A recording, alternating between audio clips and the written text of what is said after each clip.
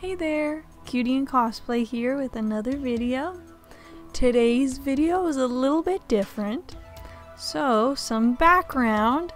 I have recently been inspired to recreate some retro video game ads and it's been fun and I found a lot of interesting funny ones as we all know they were certainly special back then those ads. Um, so today I wanted to look at some and react to some and just share the horribleness, the greatness of them with you all. So let's get into it. I've got my laptop here to view them and I will place the picture so that you can view them too and we'll share them together. Alright, so to start us off, we're jumping right in with 32X, and might I say, they were overly creepy with the idea of plugging this into the Sega Genesis. They were just really weird about it, and it's perfectly shown in this ad where this child is asking, What are those two Sega machines doing? And the mom says they're making an arcade system, dear. it's so strange. But it's also that hilarious joke of like going to the zoo and the kid being like, What are those lions doing? or something. it's just. This one makes me laugh more. Some of the other 32X ads are very. They, they go a little bit too far for my comfort, but I think this one kind of toes that line it's funny, it's good, but also still strange and. yeah. Moving on. Okay, so. This one I thought was obviously it's just great. They have a moon in there, hilarious. Um, but it especially reminds me of Wallace and Gromit and the Curse of the Were Rabbit. I just every time someone makes a joke about mooning or like just a butt, it just always makes me think of that moment where that guy's spinning on the thing and the priest dude is like, Beware the moon! And it's just so. This totally reminds me of that. The ultimate moonshot, beware the moon. Great. So, next one, we have Resident Evil here the director's cut, where they say now you can see Resident Evil through the director's eyes. And I absolutely love this image that they went to this poor director man and stole his eyes so that we too could see through them. Delightfully creepy, hilarious. Great. I love it. Okay, Game Boy. I have a lot of questions for this one more fun than a ferret down your trousers? And he is playing the Game Boy while having the ferret down his trousers and ignoring the ferret, which is the joke, of course, but what? Why? Who enjoys that? Who, who at Nintendo was like, my gosh, guys, I really enjoy doing this, but you know what's better? It's just so weird, so strange, and I don't like the ferret going in there. I don't like that image. No, Game Boy. I feel like anything, anyone could make this ad. Anything is more fun than a ferret down your trousers. But that's just my opinion. Okay. the new Game Boy Pocket seriously distracting. I absolutely love this image that this man spent all this time. You know what? Not even that much time. He didn't finish the legs. Just spent some time tying up the hands of this woman. And then he's like, oh crap, my Game Boy Pocket. And just totally ignores her right in front of her so that she can watch. It's good. It's great fantastic, even. okay, so this one just makes me laugh. Graphics so real you'll forget it's only a game. Really? Are we sure about that? Are we sure? This little 8 bit, it's so real. I like how he's coming out too. It wasn't like that. It wasn't really like that. Imagine if we had stopped here. Imagine if we had been, the graphics are so real, this is the pinnacle of gaming. We will never improve from here. We'd still be enjoying 8-bit today. Next, Neo Geo. I remember when he couldn't keep his hands off me. I love this lady angry. I love this dude playing it like an air guitar. And on the TV, they just dug through all these games to find the most phallic image possible. Like, why? No. It's too much. But the air guitar man's the best. The angry lady's pretty good. It's just strange. It's just I don't like that I don't like that TV image. Not one bit. Next. Tasmanian Tiger beats up poor Spyro, poor Crash, poor Sonic, and he puts them in the hospital. And not only does he put them in the hospital, but he comes to laugh at them, to pose in front of their poor full body cast selves. I they're so sad. I just I, I love how sad they look. Especially Spyro. That's some hurt in those eyes. That is some pain. It takes a real jerk to visit your hospital room just to pose with your giant cast. Excellent. Okay, next one. Kirby with some in some mug shots that he used to be such a good boy. But the game is not like that at all. He's still just this squishy little pink, lovely little fella. Why are they baiting you thinking he's some thug? He's gonna be pulling out guns and beating up people on the streets for money. What is this? Kirby never had he never had evil in him, and they know it. okay, this one is so strange to me. And it really makes me think that the person who was hired to make this ad had no interest in what this game was. So it's Klonoa, and there's these two people, obviously, as you can see. This man saying, But Susan, I have Klonoa. And this woman saying, Hey baby, I want Klonoa. Terrible! Some person who was like, please sir, will you make this ad for our game Klonoa? And that guy was like, ha ha ha, that sounds like an STD. And just makes this ad. Who okayed this? Why were they like, yes, this cutesy game? This is a perfect ad for it. We want everyone to think of, of STDs when they play this adorable little creature in his fun, bright game. What? It makes no sense to me, but it's also hilarious and horrible and I just can't. Amazed it was made. Poor Klonoa. He deserves better. He's not. He's not an STD. So this one, the Sega CD, you'll get old waiting for someone to top Sega CD. I just this image of this old man screaming with Sega in his mouth and saying have fun now while you can still chew your food.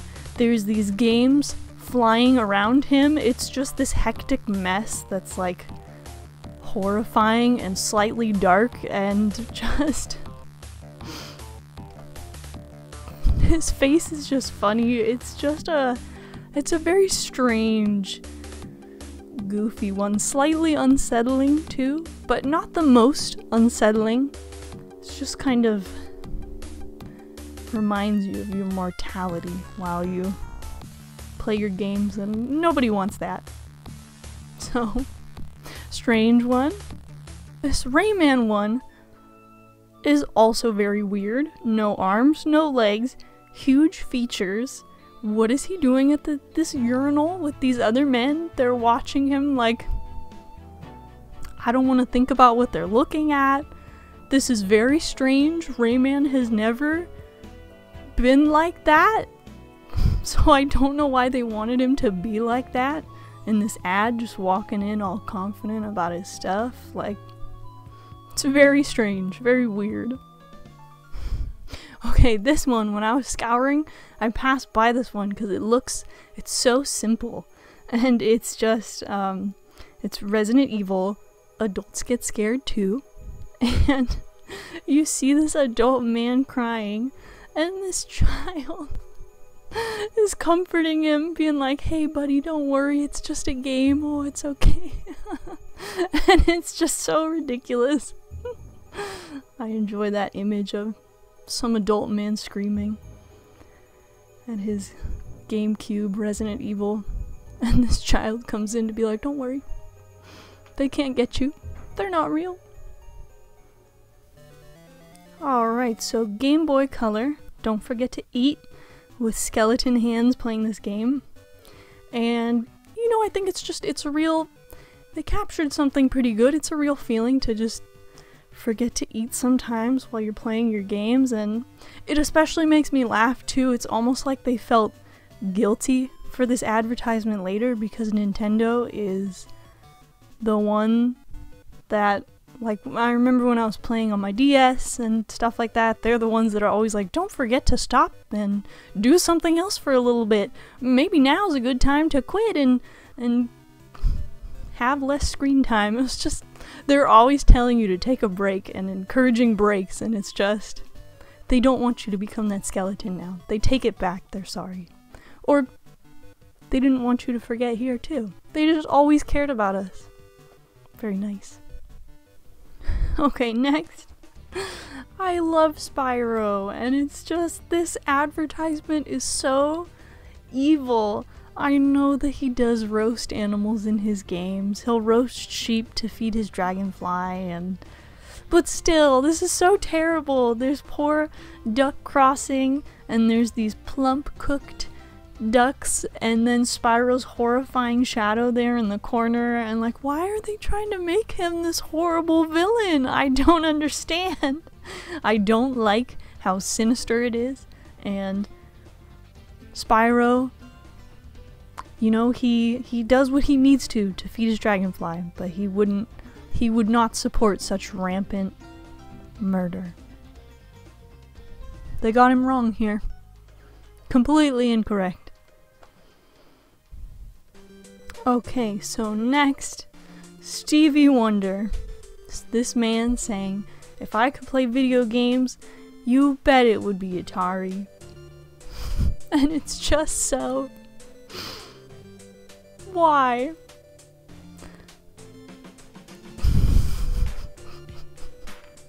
it's I it's funny. It's good. I'm assuming this man was in good humor about it and was like, sure. I would, if I could play video games, I'm sure I'd enjoy Atari.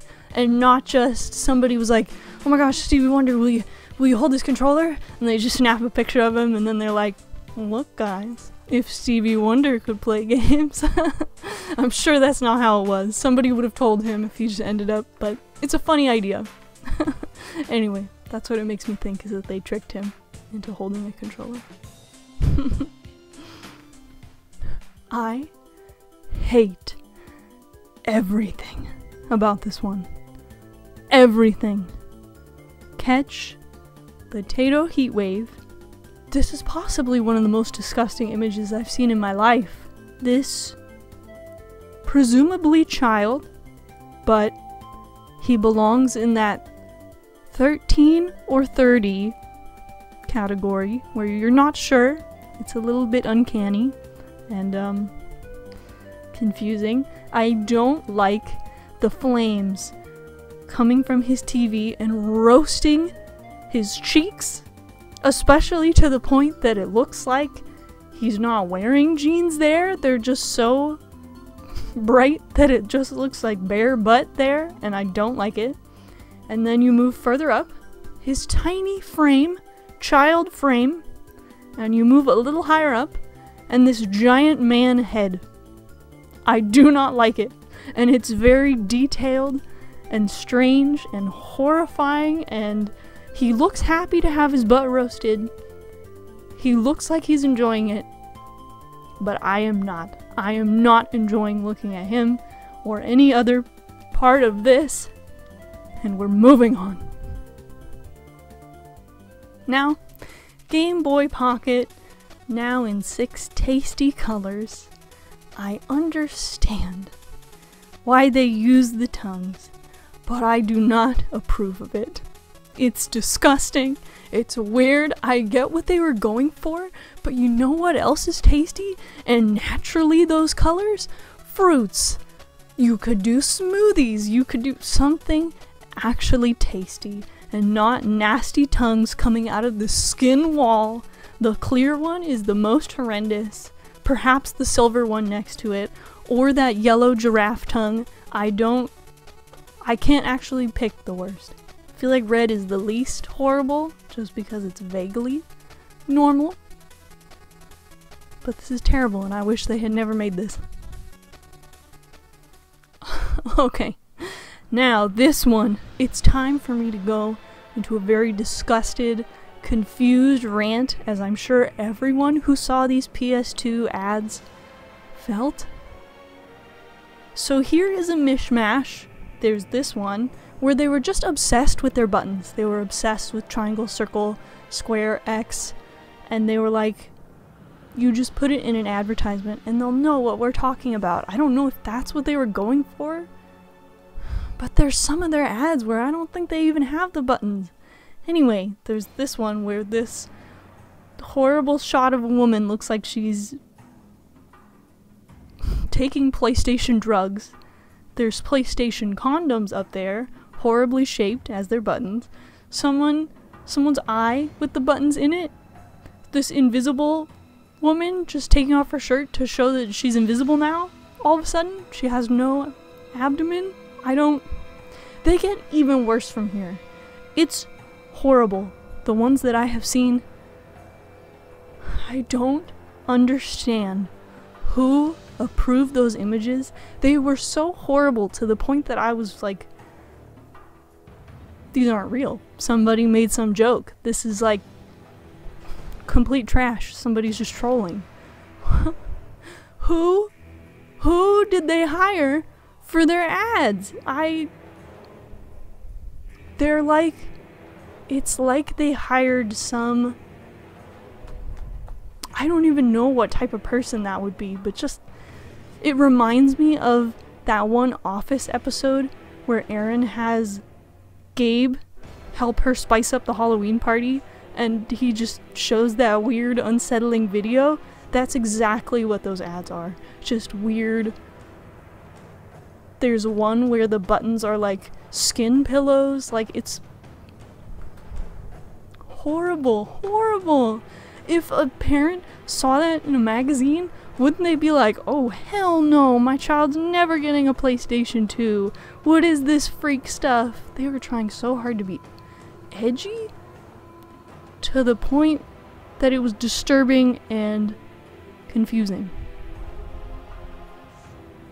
I don't know. The only thing I can assume, assume is that they were just trying to be so different that they fell off a cliff doing it. Horrible. Hate them so much with a passion. Hate. Hate, hate. And this one, even when you lose, you win. Rumble Roses. Just having a good time wrestling. this is actually one of the pictures that I did try to recreate. I, I just had some inspiration from it, decided to do some wrestling moves. Um, and that was fun to do. But yeah, this ad's just funny. the idea that even when you're losing, you still get to look at pretty chicks wrestling each other is funny. And it's just a funny image. It's good. And a funny idea that they're selling it that way. But still, not even the worst, like, most disgusting ad. Some of the ads back then could be really over the line. really horrible. And that is but a mere taste of the strange ads back then. man, they were really, really weird. Um, and, you know, some of them were good. Obviously, I didn't pick the ones that were, like, boring, because that's not fun to laugh at. But, um, but yeah, as I mentioned, I um, was inspired to recreate some, so that's kind of what gave me the idea for this video today, and, um, yeah, I definitely have an appreciation for how bold they could be back then. Um, I t I don't agree with all of the the ad choices they made, but um, but they turned out a lot of them turned out funny and good to look back on and be surprised at now. Um, but yeah, thank you so much for checking out these ads with me today, and I hope you had a fun time. I had fun, and I'll see you in the next video. Bye!